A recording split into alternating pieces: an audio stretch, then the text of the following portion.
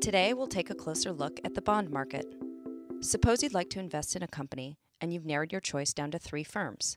Company A is offering a zero coupon bond with a face value of $1,000 to be repaid in one year at a price of $963 today. Company B has the same face value and maturity date, but sells for $871 today. And Company C also has the same face value and maturity, but sells for $985. What is the implied rate of return or the yield of each bond? In which would you rather invest? As always, try to answer this question by yourself. Check out our video on bonds, attempt the problem, and then come back and we can work the problem together. This problem is surprisingly straightforward. It's just the jargon that makes it seem difficult. Mature bonds, zero coupon, rates of return. So let's quickly break these concepts down. A bond's maturity date is when the face value of the bond is paid to the bondholder.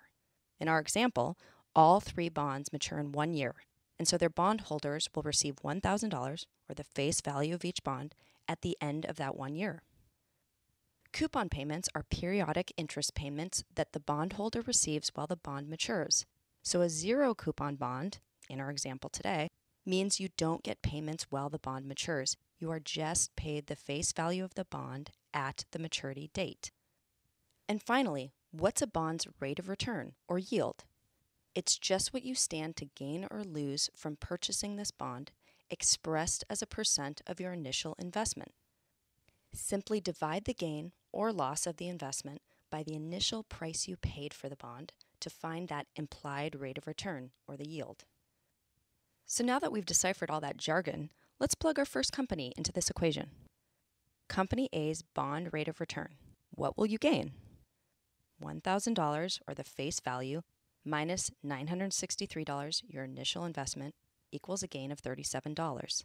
Divide that gain by $963, what you initially paid for the bond, which equals a 3.8% rate of return. Just a note here this calculation becomes much more difficult if the bond were to mature after several years.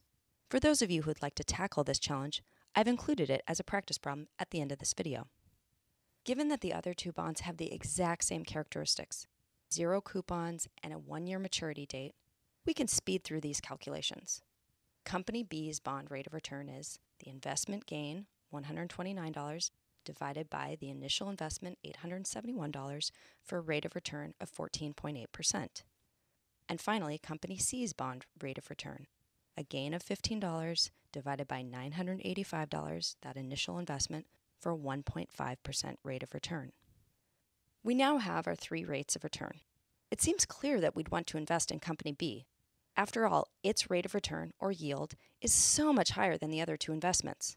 But stop and ask yourself this question Why on earth is Company B offering such a high yield? And why isn't everyone jumping on this great deal? Risk. Even though bonds are safer than stockholders because bondholders are paid before shareholders, there can still be risk of default. Equally risky assets must have the same rate of return. If they didn't, everyone would buy the bond with a higher rate of return until the price is equalized. So we basically know that Company B has a lot more risk than the other two companies. Company C, on the other hand, is the least risky. So which company would you prefer to invest in? Well, there isn't actually a clear right answer here. It in part depends on your preference for risk. As always, please let us know what you think. And if you'd like more practice, check out our practice problems at the end of this video.